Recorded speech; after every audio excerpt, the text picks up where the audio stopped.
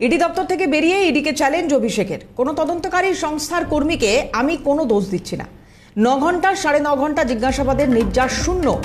আগে শূন্য বলেছিলাম, এখন মাইনাস টু বলছি। তদন্তকারী সংস্থা আমাকে ডেকেছে, আমি এসেছি, তদন্তের সহযোগিতা করেছি। আমি অনুরোধ করব, আমার স্টেটমেন্ট বিচারপতির সামনে জমা দেওয়া হোক। আগামীকাল মামলার শুনানি আছে। আমি যা বলেছি তা জমা দেওয়া হোক। ইডি দপ্তর থেকে বেরিয়ে মন্তব্য অভিষেকের। তদন্তকারী সংস্থার কোনো কর্মীকে কোনো দোষ দিই না। আমি সিবিআই দপ্তরে যখন গেছি, একই কথা বলেছি এবং আজও ইডি দপ্তরের বাইরে দাঁড়িয়ে একই কথা বলছি। এই যে ন ঘণ্টা, সাড়ে ন ঘণ্টা জিজ্ঞাসাবাদ, তার নির্যাস হচ্ছে শূন্য। আগে শূন্য বলেছিলাম, আজকে মাইনাস টু বলছি। আবার পরের দিন যদি ডাকে, মাইনাস ফোর হবে। যত ডাকবে, তত মাইনাসে যাবে। তদন্তকারী সংস্থা ডেকেছে, আমি এসছি কোঅপারেট করেছি। আমি অনুরোধ করব তদন্তকারী সংস্থাকে যে আমার স্টেটমেন্ট সেই বিচারপতির সামনে জমা করা হোক। বা অন্য কোয়ার্ডিনেট বেঞ্চে যেখানে মামলা চলছে সেখানে আমার স্টেটমেন্ট জমা করা হোক। আমি ইডির অফিসের বাইরে দাঁড়িয়ে ইডিকে চ্যালেঞ্জ করে যাচ্ছি। যে আমি যে স্টেটমেন্ট আজকে দিয়েছি, আগামীকাল মামলার হিয়ারিং আছে। আপনি সেই বেঞ্চে বা তার কোঅর্ডিনেট বেঞ্চে আমার স্টেটমেন্ট জমা করুন।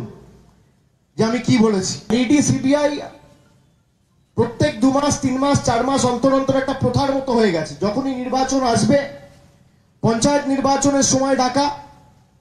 এখন যেহেতু ধূপগুড়িতে হেরেছে, পঞ্চায়েত নির্বাচনে গোহারা হেরেছে, তাই ডেকে হেনস্থা করা। আবার দেখবেন তিন চার মাস পরে কোনো একটা নির্বাচন আসবে, বা লোকসভা এগোবে, তারপর আবার ডাকাডাকি শুরু হবে। এটা প্রচলিত প্রথার মতো হয়ে গেছে। কোনো দোষী শাস্তি পেয়েছে, বা আলটিমেটলি কেউ ন্যায় বিচার পেয়েছে বা ন্যায় বিচার যার পাওয়ার কথা, তাকে ন্যায় বিচার পাওয়ার ক্ষেত্রে সদার্থক বা ইতিবাচক ভূমিকা সিবিআই বা ইডি পালন করেছে, আপনি দেখাতে পারবেন না। বিজেপি মুখপাত্র শ্রমিক ভট্টাচার্য আমাদের সঙ্গে রয়েছেন। শ্রমিক দা, স্বাগত জানাই আপনাকে সিএনএ অভিষেক বন্দ্যোপাধ্যায়ের যে বডি ল্যাঙ্গুয়েজে কথা বললেন, আবার বলছেন নির্যাস শূন্য আজকে সারাদিনে। শূন্যর থেকেও আরও এক কদম এগিয়ে বলছেন মাইনাস টু। যতবার ডাকবে, মাইনাস ফোর, মাইনাস সিক্স, এইভাবে নাকি এগোবে বিষয়টা। আর আরেকটা কথা উনি বলছেন যে, তদন্তকারী সংস্থা আমায় ডেকেছে, আমি এসেছি, সহযোগিতা করেছি, আমি অনুরোধ করব আমার স্টেটমেন্ট বিচারপতির সামনে জমা দেওয়া হোক। আগামীকাল শুনানি রয়েছে, সেখানে জমা দেওয়া হোক। এবং পলিটিক্যাল ভেন্ডেটা আবারও এই অভিযোগ করছেন তিনি। কীভাবে দেখছেন ওনার এই বক্তব্যগুলোকে? শূন্য থেকে মাইনাস টু যদি হয় আমরা যতদূর ছোটবেলায় পড়াশুনো করেছিলাম শূন্যই হয় আবার শূন্য থেকে বাইরে কি হলে কি হবে, আমার জানা এই জটিলতার মধ্যে ঢুকে কোনো লাভ নেই। আমরা চিত্রনাট্য তো এক। ইডি অভিষেক বন্দ্যোপাধ্যায়কে ডাকবে, আট ঘণ্টা জেরা হবে, অভিষেক বন্দ্যোপাধ্যায় বেরিয়ে আসবে। তিনি যখন যাবেন, তখন নিরাপত্তা বলয়ের মনে ফেলা হবে। তখন বাড়ি থেকে বেরোবেন তখন কলকাতার অনেক রাস্তা নয় হয়ে যাবে। তিনিও অনেক ধন্যবাদ দা আপনাকে, অনেক ধন্যবাদ। শ্রমিক ভট্টাচার্য, বিজেপি, রাজ্য বিজেপি মুখপাত্র আমাদের সঙ্গে ছিলেন অভিষেক বন্দ্যোপাধ্যায়। ইডির দপ্তর থেকে বেরিয়ে সরাসরি ইডিকে চ্যালেঞ্জ করছেন এবং আজকে ওই ফাঁসির মঞ্চের কথা উল্লেখ করেছেন দুর্নীতি প্রমাণ করতে পারলে। কংগ্রেস মুখপাত্র সৌম্য আইজ আমাদের সঙ্গে রয়েছেন এই মুহূর্তে টেলিফোনে। সৌম্যদা, আপনাকে স্বাগত জানাব।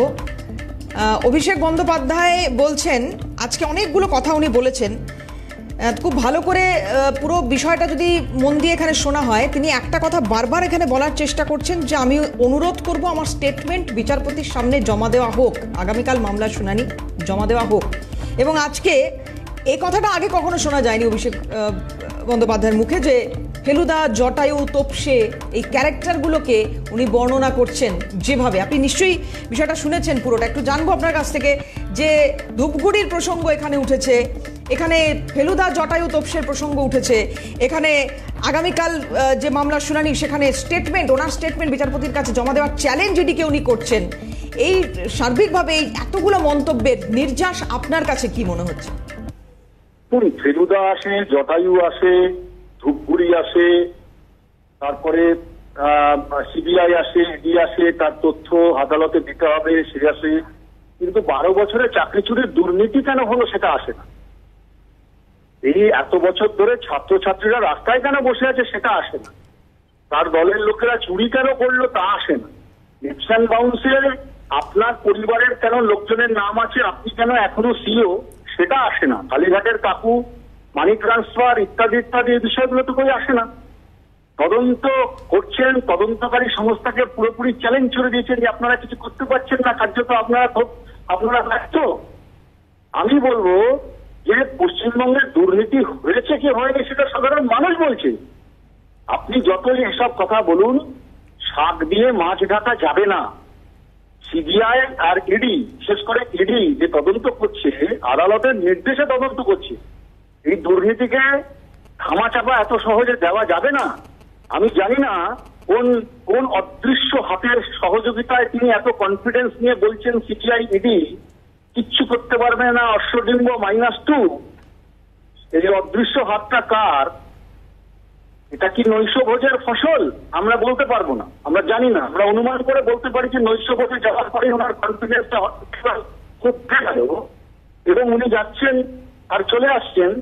এই খেলা আর কতদিন চলবে বলতে পারেন? কিন্তু উনি একটা জিনিস স্বীকার করেছেন যে দুর্নীতি একটা হয়েছে। সেই দুর্নীতি যদি হয়ে থাকে, তাহলে দুর্নীতিটা কেন হলো আপনার সরকারের আমলে জবাবও তো আপনাকে দিতে হবে।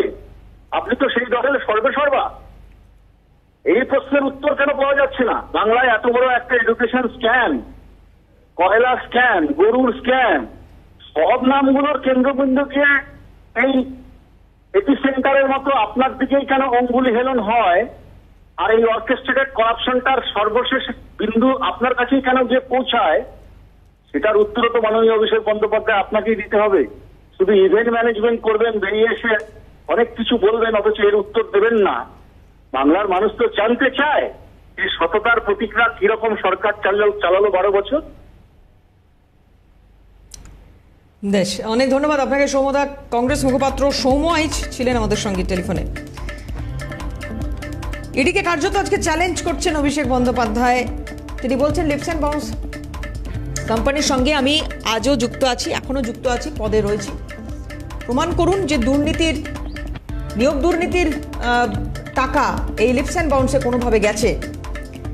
চ্যালেঞ্জ করছেন যে তার যা স্টেটমেন্ট আজকে, সেই স্টেটমেন্ট বিচারপতির সামনে জমা দেওয়া হোক।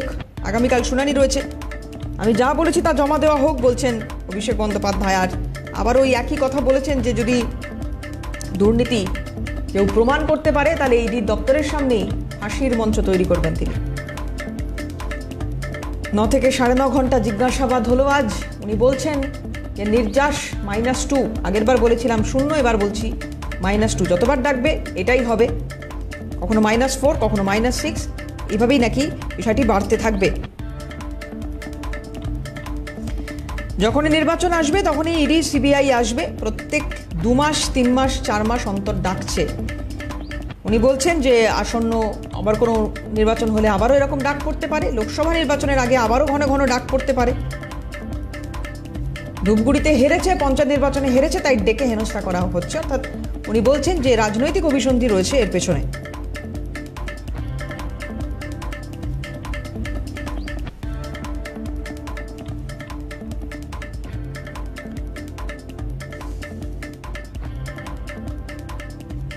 ইডির দপ্তর থেকে বেরিয়ে ইডিকে চ্যালেঞ্জ করলেন অভিষেক বন্দ্যোপাধ্যায়। বললেন, তার স্টেটমেন্ট আগামীকাল কোর্টে পেশ করুক ইডি।